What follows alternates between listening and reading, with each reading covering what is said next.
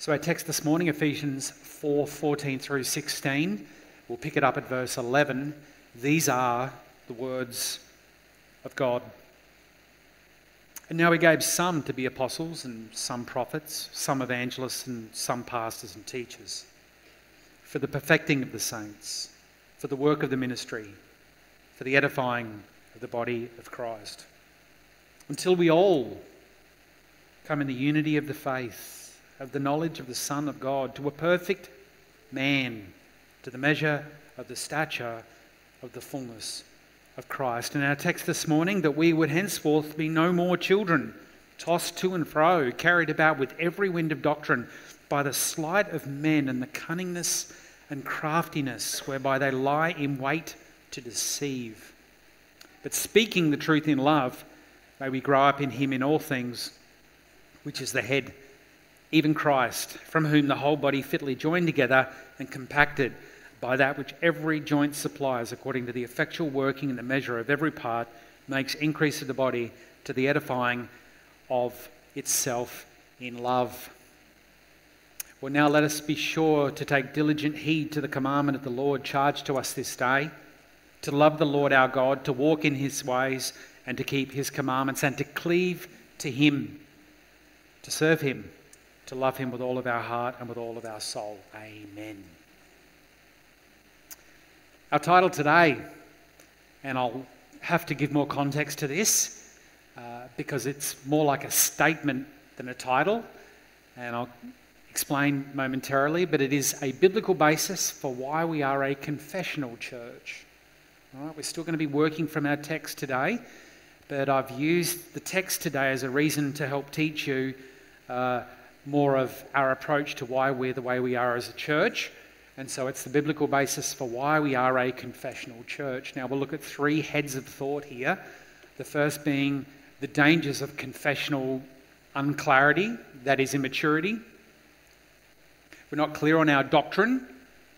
Uh, we will be totally immature, tossed to and fro. Secondly, uh, so that's the negative or the warning, and then we're going to go to two positives that is, the strength of confessional unity, that is, we identify around the same truths.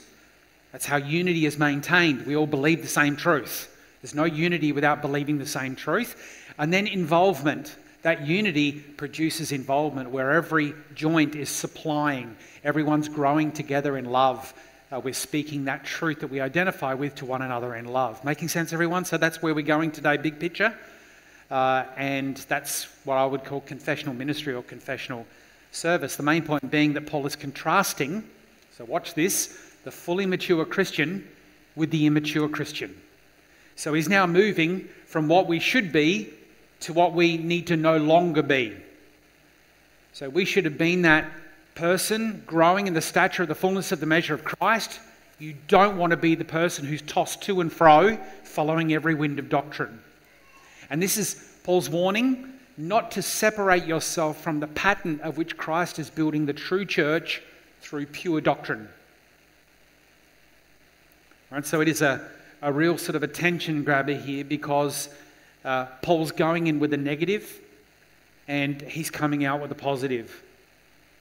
He is warning them and then he is edifying them.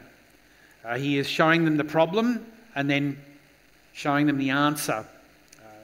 He doesn't want them to be children, he wants them to grow up. Uh, you can see that phrase there in the text.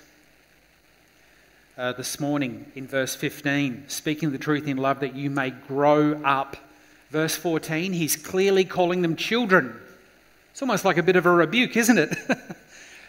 no longer be children. That gives them a reason no longer, it's a choice they need to make.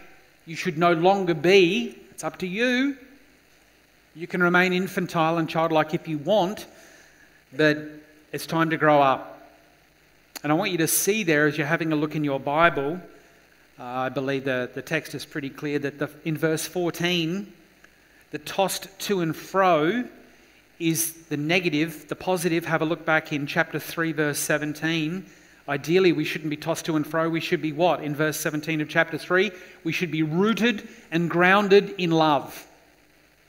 So there's the two differences. You're either rooted and grounded in truth, in God's church, in the body of doctrine that we believe, and you're living and walking accordingly, or you are tossed to and fro. All right, well, by way of introduction, I've used, uh, as you've noticed in the title, the term confessional church in the title. Now, by this, I don't mean that we are not a Reformed church, we are. All right? So, we're certainly a Reformed church, but we also believe that uh, God's Word is reforming and changing us, and that Word is a body of truth, it's a body of divinity. God's Word has the ultimate authority, no confession or creed trumps that. And so, God's Word is always the standard. Amen, everyone? God's Word is always the standard in all we do as a church Everything we do should align to Scripture. Another way of saying that we are reformed is, of course, to say we're simply a biblical church that's continuing to go back to the Scriptures. You'll notice our stained glass window at the back there in the corner, one of them, it says Ecclesia Semper Reformata. It's the church continuing reform. We're continually going back to the Scripture, making sure we're getting it right. So, what do I mean? What do we mean when we say we're also confessional? We're also confessional, a confessional church. Well, it means that part of our biblical fidelity is that we hold to a confession of faith. That confession of faith describes our doctrinal convictions. All right, so a confession of faith, if you're writing it down, a confession of faith describes our doctrinal convictions. It's good to know what a church believes. You don't want to be going to a church for a year and find out you don't believe the Trinity, you don't believe Jesus is God. You know, this is crazy. Why didn't somebody tell me? You need to know uh, your doctrinal convictions. Now, by definition, because it is important that we do hold uh, definitions here, uh, to be a confessional church is to be a church that believes and confesses the Word of God as summarized in the great creeds and confessions of the historic church. It is to be a church firmly rooted in the Scriptures. So there's our definition now for us at Gospel Community Church. Our confession, of course, based from the Scriptures and firmly rooted in the Scriptures, is the London Baptist Confession of 1689 technically the Second London Baptist Confession, uh, but that's our confession. And we've taught through that confession. Uh, we hold to that confession. I can teach nothing from this pulpit that deviates from that confession and the chapters contained within it. And a quick history lesson, everyone, uh, is that the London Baptist Confession actually came out of and was a more Baptistic version of the Savoy Declaration all right, now the Savoy Declaration uh, in 1658, uh, the framers of that declaration were none other than men, formidable men like John Owen, Thomas Goodwin, William Bridge, Joseph Caryl, and William Greenhill, uh, among some of the uh, men there who uh, were really the framers of the Savoy Declaration. Of course, there is a long line of godly ministers who are in more recent history used the London Baptist and still continue to use the London Baptist Confession of Faith. Of course, one of the uh, regular people I quote from in my sermons is uh, Charles Spurgeon. You know, Charles Spurgeon uh, was instrumental in uh, using this confession, as was the pastor he took over from, uh, Benjamin Keach. Now, I've got a picture here of the London Metropolitan Tabernacle, which uh, Spurgeon was instrumental in helping to build. And uh, I'm just quoting here from uh, Credo Mag magazine.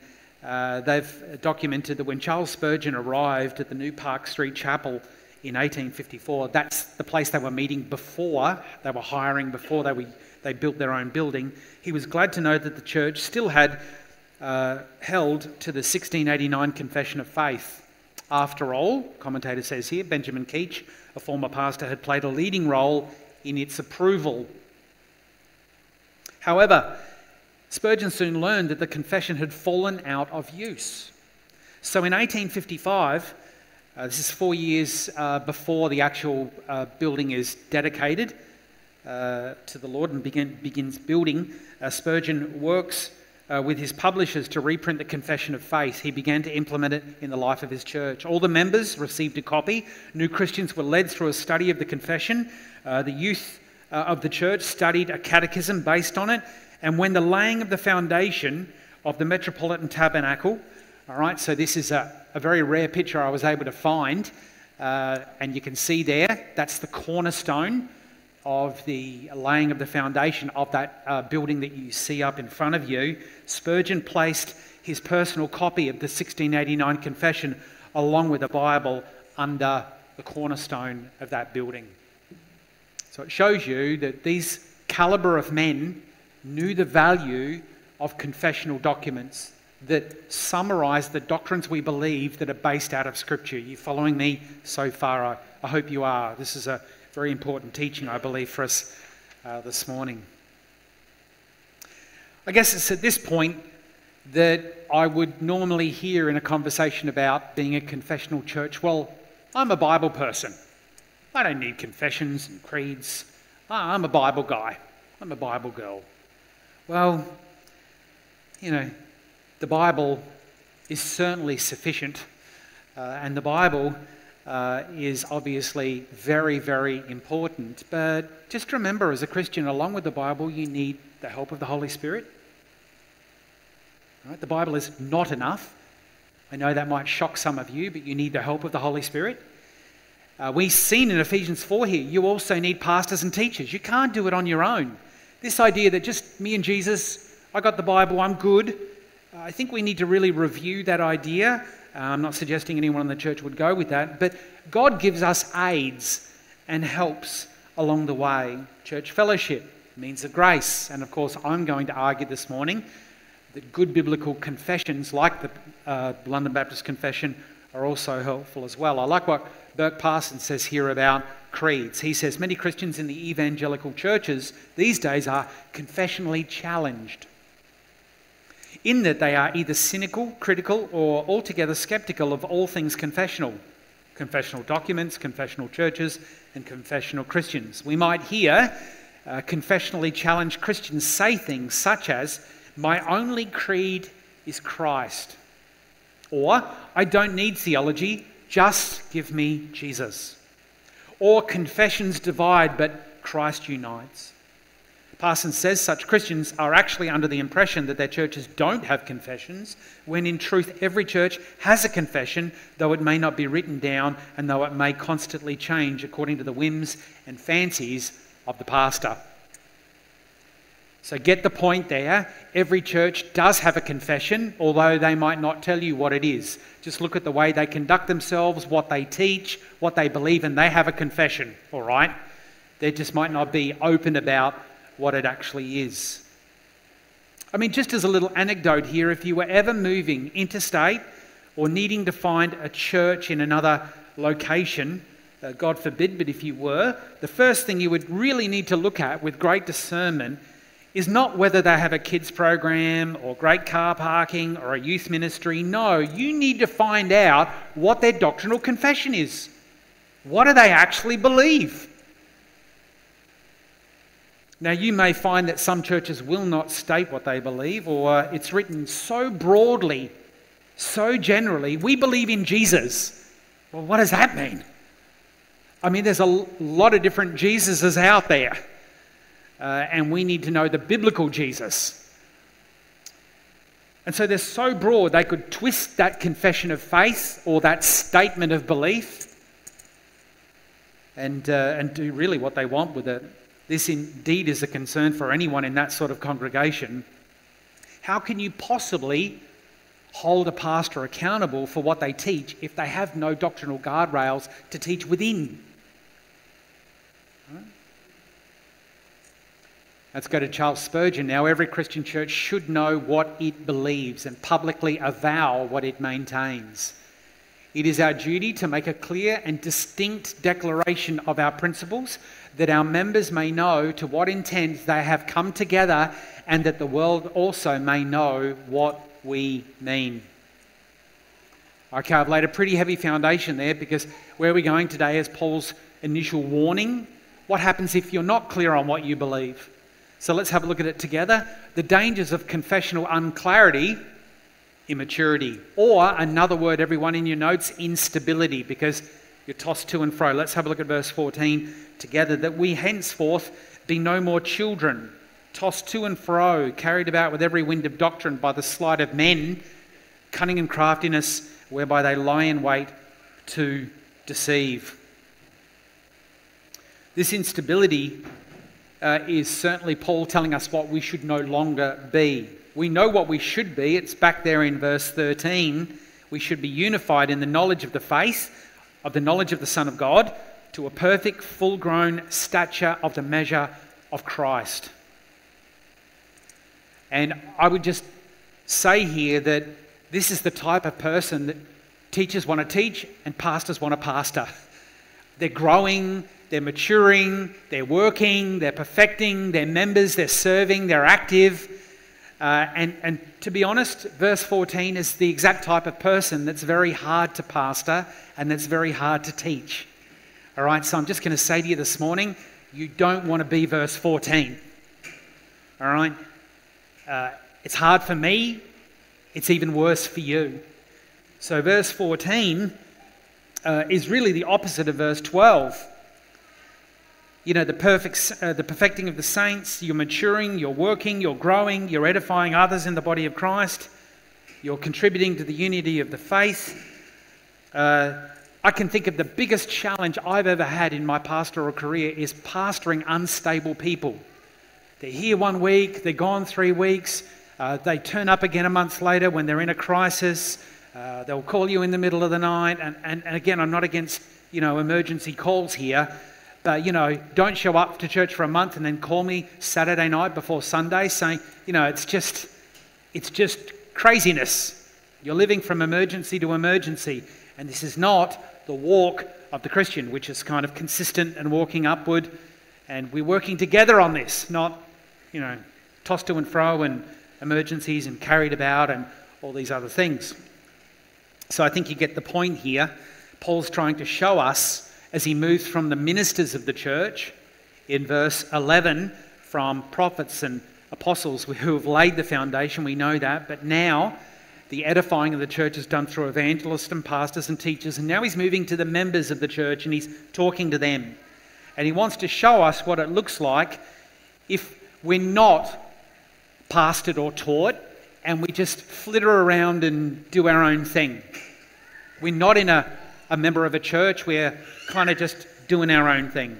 And he's really painting a scary picture of what the end result looks like. Have a look at it with me. I mean, the wavering, infantile, gullible Christian.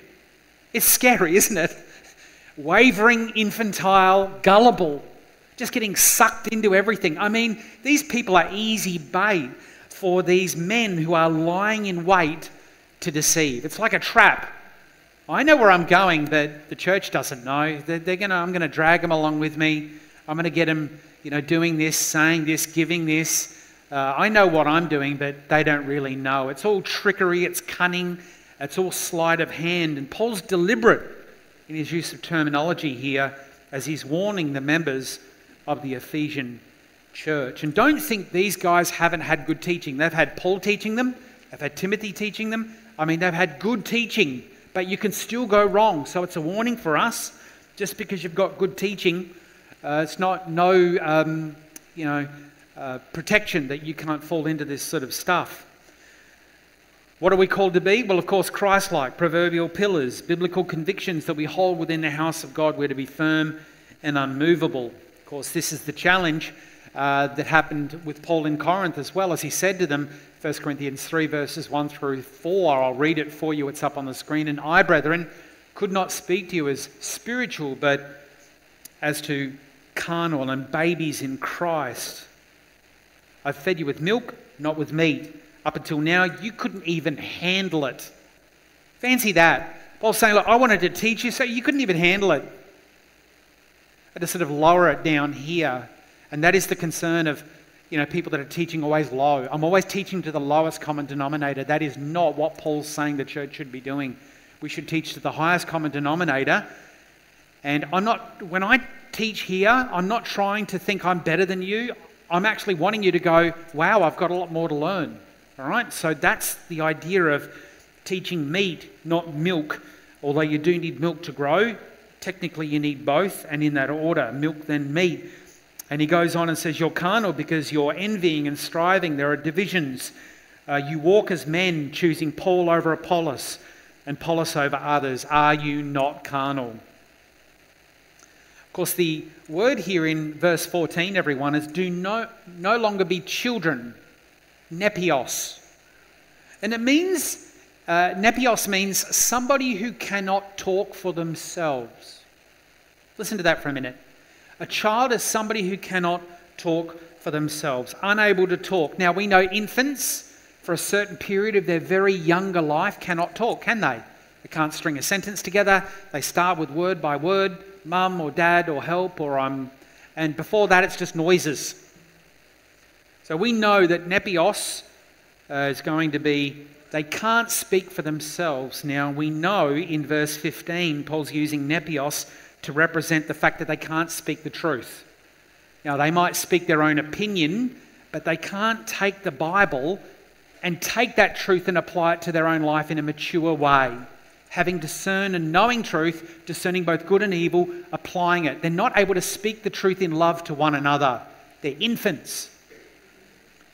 And often you'll find with immature Christians, children in the faith, they don't know the Word of God well enough to apply it to their own lives and to even challenge their own spouse, their own husband or wife, uh, their own children, and they're just led along by every wind of fad of doctrine of what they think is best rather than led by the Word of God. Are you getting me, everyone? That's what Paul's really trying to say here, the spirit of the text. They're unenlightened, they don't have the truth in a way that they can speak it. Now, we know that you know something well when you can teach it or you can speak it out with confidence. And that's where Paul's going here. Don't just read your Bible, know it well enough to speak it to others, to rebuke, to correct, to exhort one another.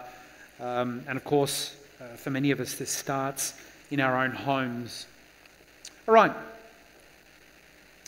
Now, although these uh, people cannot speak, their children, uh, they're also giving way to other things. They're being deceived by the tricks of false pastors.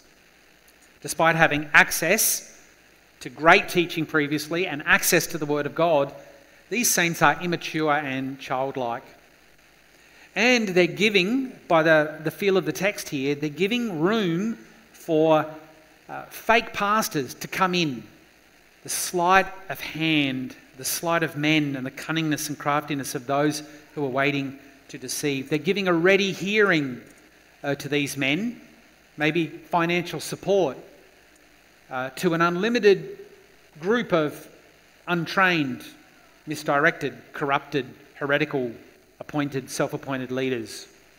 Now, these men are going to do more damage than good, deceiving God's people with their sleight of hand tactics. Another verse for us where Paul then goes on in his second book to the Corinthians to rebuke them by tolerating such fake pastors. He said, You gladly bear or put up with these fools, you thinking yourself wise?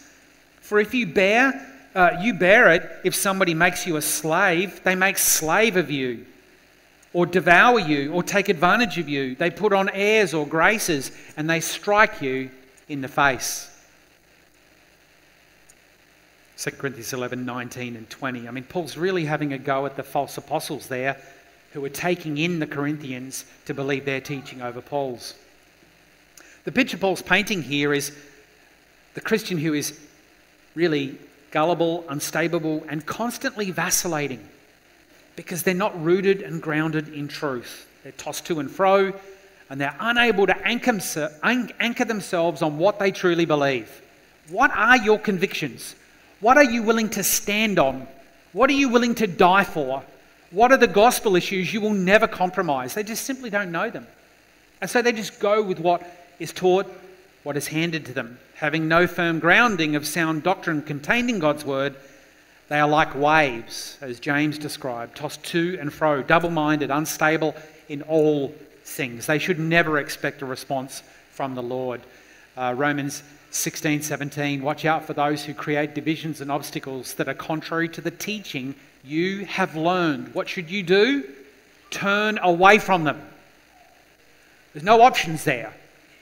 If they're creating alternate teaching that contradicts the truth that you have learned and that you know is true of Scripture, you must turn away from them. John MacArthur put it this way because they are not anchored in God's truth, they are subject to every sort of counterfeit truth humanistic, cultic, pagan, demonic, or whatever. There are three words that um, Paul uses for the way these men operate. They're very interesting Greek words. Let's have a look at the first one scheming. You can see that's where we get our word methods from, methodia. They're using different types of methods. Uh, this is the same verse in chapter 6, verse 11 that the devil used. This is the schemes of the devil. So these are demonically, most likely led men who are coming up hatching strategies to try and keep you hooked. What method can we use next to keep them going? It's the old carrot stick trick. It's never changed, has it? It's how Satan works with temptation. Oh, look, something glittery. Gold, the girls, the glory. It's the same tricks in the book. We're not ignorant of his schemes, everyone, his methodia, his methods. And of course, these men have methods. You only need to watch uh, and look at some of these uh, gospel prosperity teachers, it's the same wheels that are turning to keep people uh, on, the, on that, you know, spinny wheel that the rat's running around. And in the end, if you still win the rat race, you're still a rat, right? So it's not worth it. Let's look at the next one. This gets more interesting. Cubia. Yes, trickery. It's where we get our word cube from. And this is the ancient game of dice. All right, now we've all played board games, we've all spun dice. Hopefully, you've not been to casinos and lost a lot of money, but you know, we know uh, historically the odds are in the favour of the, the house. Why? Because certain things are loaded. You know, those uh, slot machines are they're set up a certain way, aren't they?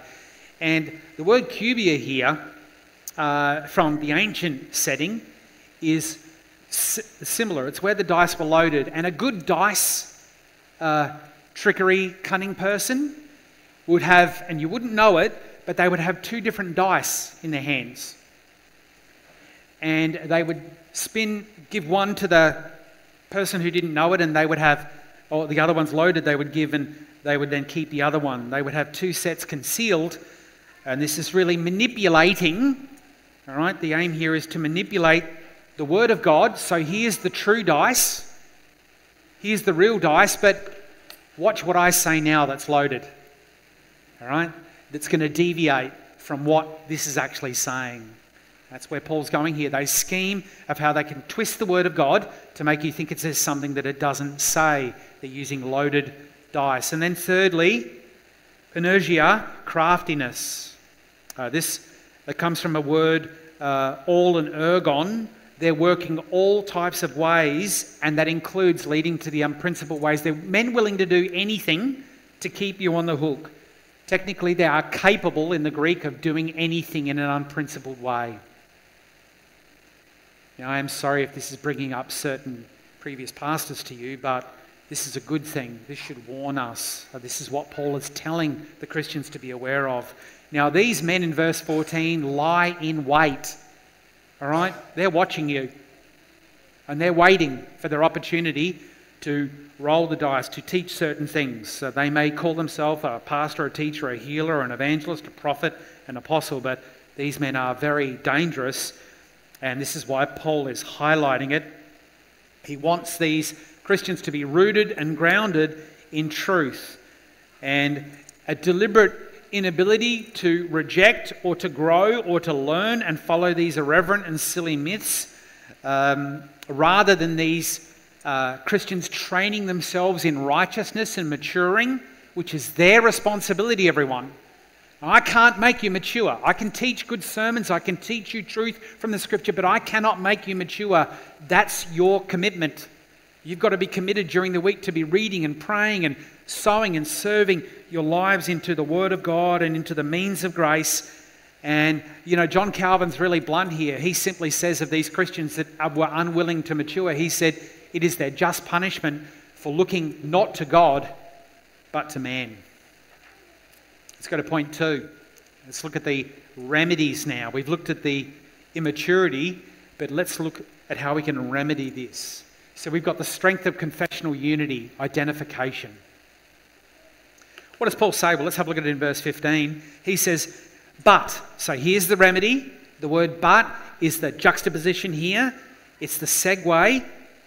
But speaking the truth in love. Speaking is in the continuous, so keep on speaking the truth to one another in love, that you may grow up into Him in all things, which is the head, even Christ. Now, I want you to see this.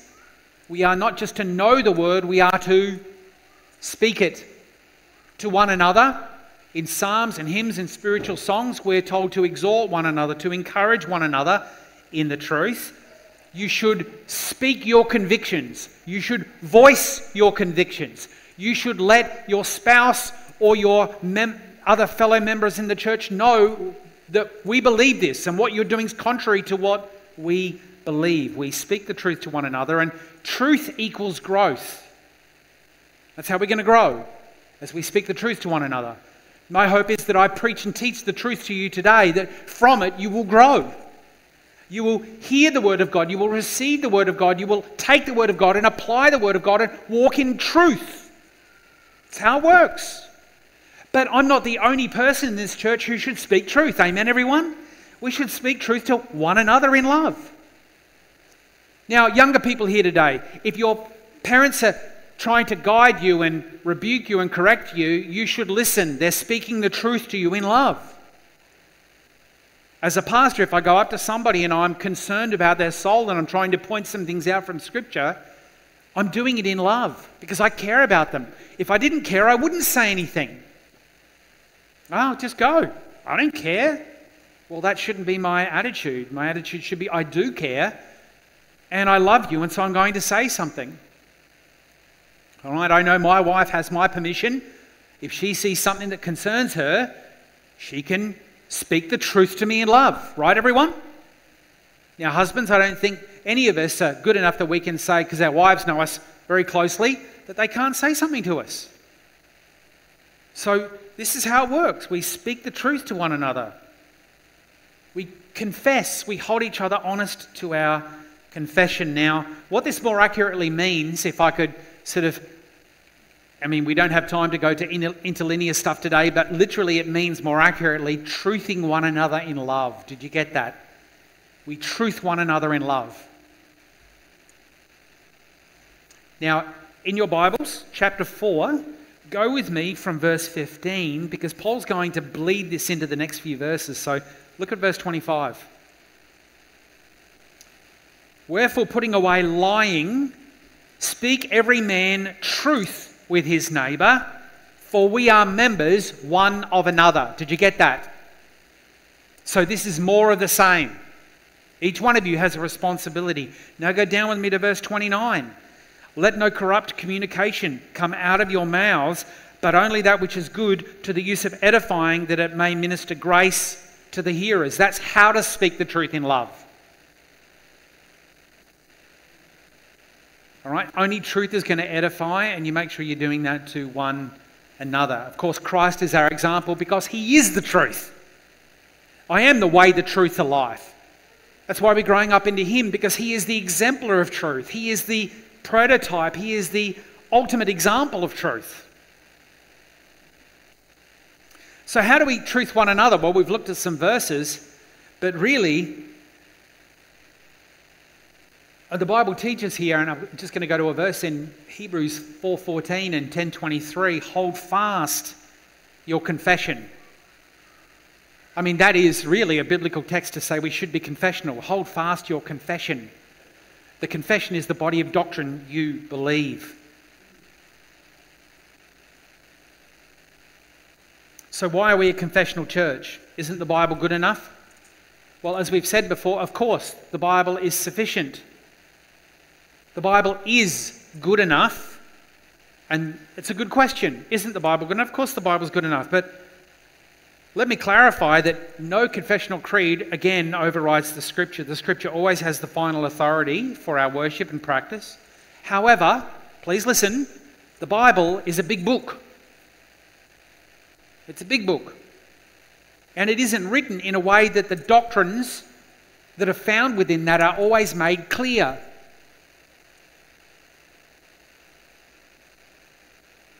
Therefore, there is a need for the church to have a document derived from the scriptures that succinctly explain all the key doctrines of scripture to make them easy to locate, understand, and acknowledge that is confess in practice.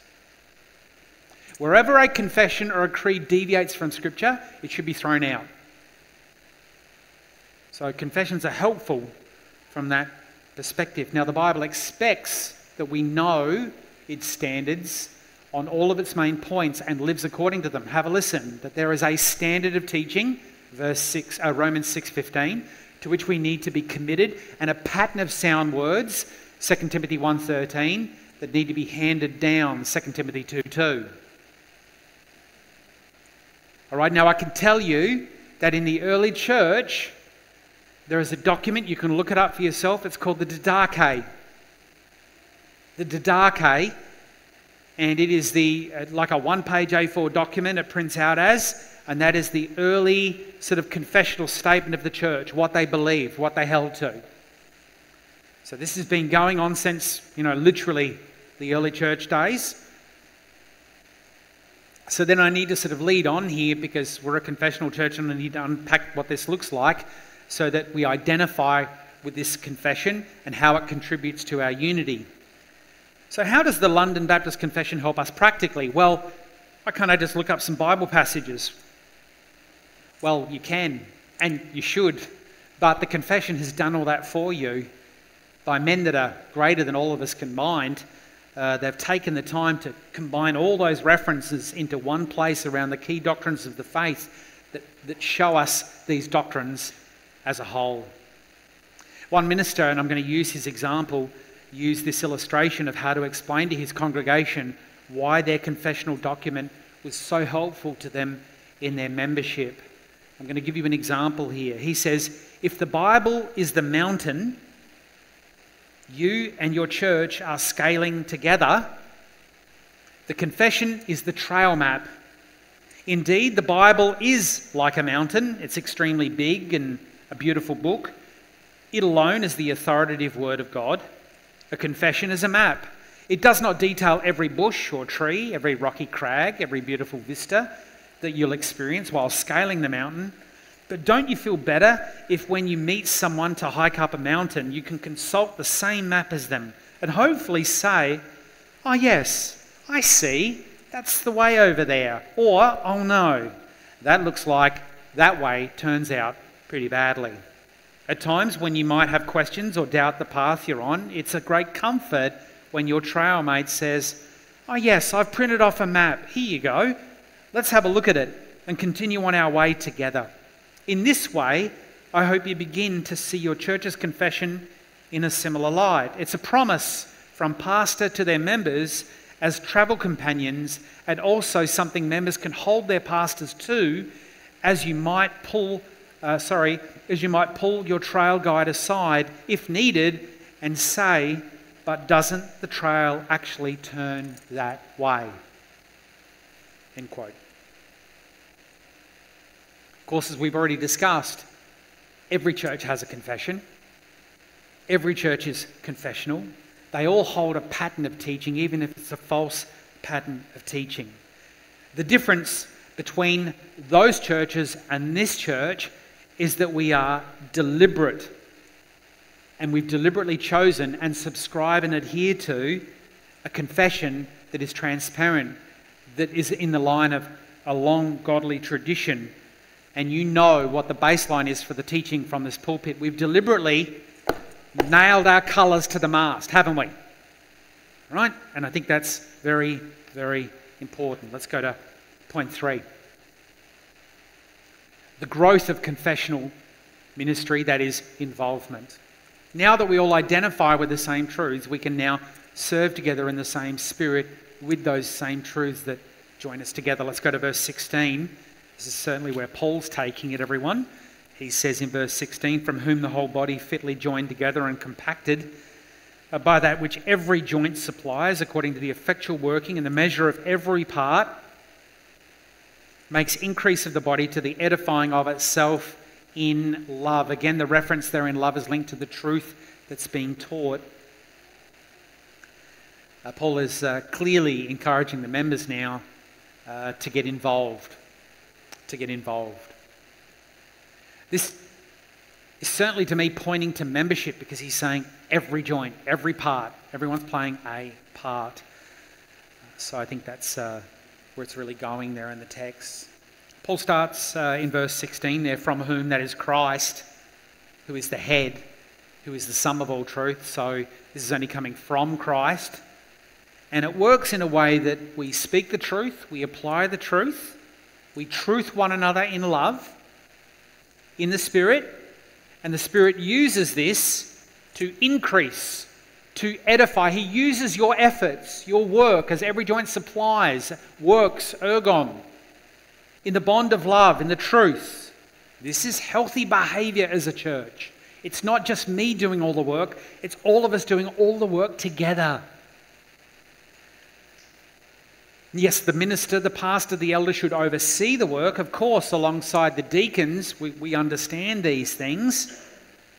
Course, that's all outlined in the confession as well, but every joint must find their place. Now, this is a challenge for each one of us because we don't want you to be spectators, to be watchers, to be attenders. We want you to be members. We want you to be involved, finding your gifts, practically outworking them as the Lord has joined you to his church. Paul's clear every part, every joint, every ligament. He's using physiological language here deliberately. Why? I believe it's because every part of your physio- physiological makeup is important. God gave you a liver for a reason, He gave you eyes for a reason, He gave you toes for a reason, He gave you a nose for a reason. Every part is valuable. So, dear saint, you're valuable. Don't say to yourself, look, everything's covered here, I'm good, I won't do anything. That is not biblical thinking, uh, and I'll truth you in love for that one. Because you are to be involved uh, and you are to be serving. Your job is to find out where you're gifted. And of course, go back with me, everyone, to verse 7 of chapter 4. Paul says, But to everyone of us is given grace according to the measure of the gift. So you've all got grace, you've all got gift. Paul encourages three things here. Firstly, every joint is fitly jointed. I see this, of course, as the local church, the whole body being joined together. Interestingly, the, the Greek word here is sunamologio. The sun comes from the word sin, which means synergy or synergistic. It means together and logio means confession, logos, words. So when we are synergized together around the words or teaching we believe, we are fitly joined together. Does that make sense, everyone? This is why confessions are important. Because when we believe the same thing, we're closer, we're more unified. This is why organizations in the world have to have a, a mission or a vision statement to identify people that are losing track, they're losing focus, they've, you know, they've got scope drift. Secondly, every member effectually works. That is stewardship, ministering your grace and your gift, finding your place of service in the local assembly. And then, thirdly, the faithful service of your gifts strengthening the church. All right, so it ends in edification. And this is a real challenge for us because you've got to ask yourself how is my uh, involvement in my local church helping build the body of Christ? Because we all play a part in that edification process, making increase. You know that when you go to meet the Lord and you're judged, Your sins won't be judged, they were judged in Christ, but your stewardship will be judged. And the Lord will say, as he said to the parable of the talents to the stewards, What did you do with what I gave you? Did you make increase? And remember, the Lord said to the unfaithful, You could have at least put it in the bank. It would have at least made some interest. You could have done something with it. So, this expectation that we would do something with what we're given is so, so critical. I mean, what is Paul going for here? Every member ministry. No passive Christianity here. He wants active members, not passive attenders in the Ephesian church. In his mind, the only way the church will be strengthened and edified as it should from the ground up is active members truthing one another in love. Active members truthing one another in love. And let's just set the ground rules, everyone. If somebody comes with scripture to you, we know they're doing it in love and we should embrace it. All right, the godly man, the book of Proverbs says, the godly man or woman loves the rebuke. They love the rebuke. Why? Because they're given perspective from God's word from another brother or sister. You should be able to speak the truth. I mean, we live in a world where we just want to say everything is good and we want to be politically correct, don't we? But we need to be able to tell the truth to one another in love. I mean, we're heading into times in this world where we can't afford to dilly dally around with one another, tiptoe around the tulips with, oh, I don't really want to say it, I don't want to offend them. If it's truth, they should never be offended, ever. We need to be bigger than that, don't we? I mean, we could go to the book of Romans, Corinthians, uh, every member, one of another. Uh, we're all in the body of Christ, serving, encouraging, uh, provoking one another in love. And as for our own London Baptist Confession, let's hear what it says, chapter 26, verse 12. As all believers are bound to join themselves to particular churches when and where they have opportunity so to do, so all that are admitted to the privileges of the church are also under the censures and government thereof, according to the rule of Christ. So that's the confession saying you just can't have all the blessings of the church and not get involved in service. You've got to do both. Secondly, chapter 26, verse 8. A particular church, that is a local assembly, gathered and completely organised according to the mind of Christ, consists of officers and members. So there you go. That's why we have formal membership in our church. I'm an officer, that is the fivefold ministry of which we now have evangelists, pastors, teachers, and of course we have the office of deacon as well uh, in the life of the congregation. Appointed by Christ to be chosen and set apart by the church.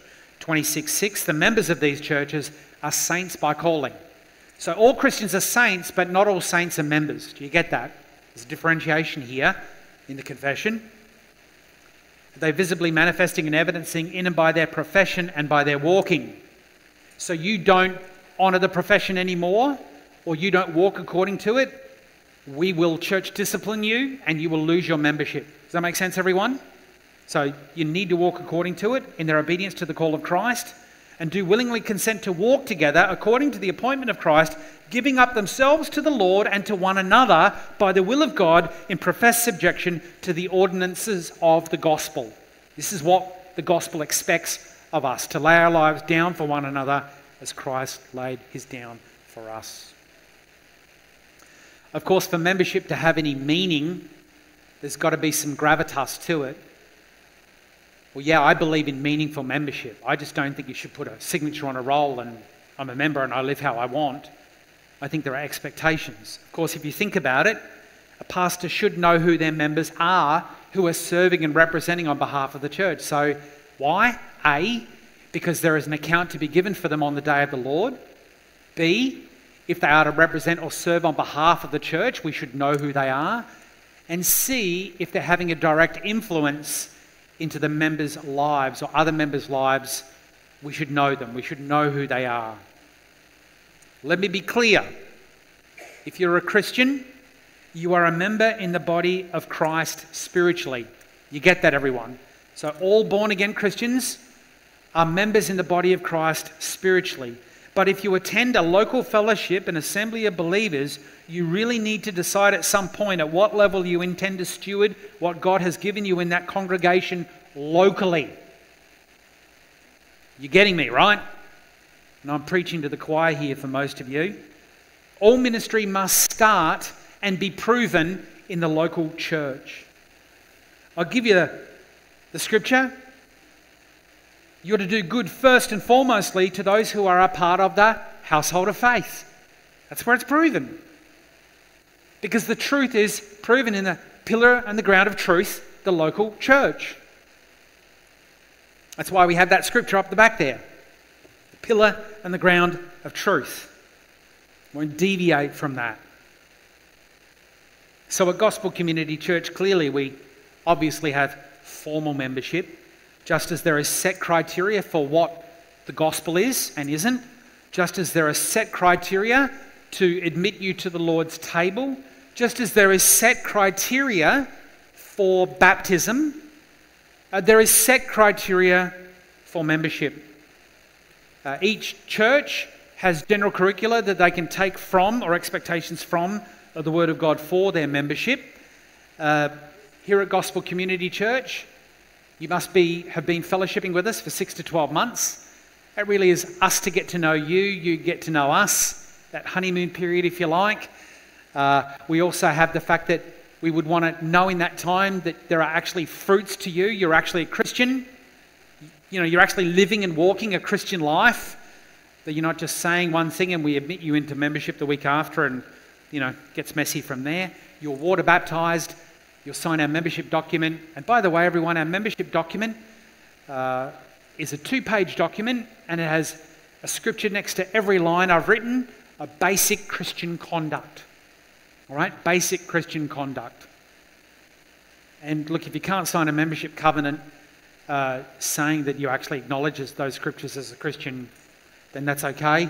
Uh, but clearly, that's what we'd expect uh, in membership here. And of course, you would acknowledge your uh, um, adherence or subscription to the London Baptist Confession. Now, I would say you don't have to believe every single thing in it minutely. You might vary on different things uh, just let me know what that is, and I'm fine with that as long as it's not a point of difference, and then you don't make that difference a point of division in the church. Right? So you can differ on some slight things in the confession and still be a member in this church. Now, could you be uh, a Methodist and believe in infant baptism and still be a part, uh, a member of this church? Uh, that's a longer conversation, and we haven't had that happen yet because we don't believe in infant baptism. We don't believe it's in Scripture but you could be somebody who is involved in the church in a way that you attend and you serve and you give uh, in a, in a very fringe way, but that confession is very important to us.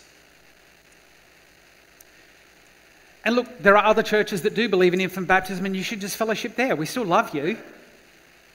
And finally, everyone, you would have a discussion with me just to confirm hey, here's where I'm going, uh, want to put my hand up, want to get involved, and so forth. All right, so obviously I'm winding up the message here now. It ends very practically because uh, I think the way to teach this sermon was to show that we have structure around how we get everyone involved, how we truth one another, and, uh, and to be, be aware of that. So if you are interested uh, in our confession of faith, I've got some copies up the front there. I think there's seven or eight copies. And uh, again, if you're genuinely interested, you, you could look at the e version uh, online if you want a copy for yourself. Uh, this is my church. This is you know something I'm serious about. You should take a copy for your family, a copy for yourself. We've taught through this before. The sessions are all online at our website and our YouTube channel. Uh, if you're interested in membership, I've got printed copies of our church covenant. Just come and take one. It doesn't mean you've got to become a member, but you can at least read through it and see what it looks like, and you would come back to me with that if you were interested. We also have on our church website an article six reasons why we are serious about being a confessional church. All right, six reasons why we are serious about being a confessional church. And I'd love for you to read that as well, just to grow in that, because this is obviously uh, the way we're heading, and very important that uh, you're aware of these things and why we're this particular way. Of course, if you've got further questions, I'm happy to chat with you after uh, the sermon, uh, any of the contents, uh, comments, and so forth. Well, please hear me. Uh, if you attend this fellowship, member or not, we love you. All right? So this is not about a membership drive. This is just unpacking, using this text of Scripture, why being a confessional church is so important. But we love you either way. You need to know that if you're a Christian, we love you. But the pathway, obviously, to active service in the life of this church is through formal membership, acknowledgement of our confession. My prayer today is that this sermon has provoked you to consider our confession of faith and to take seriously how you intend to steward God's gifts and graces in your life for His glory. Let's go to the Lord in prayer.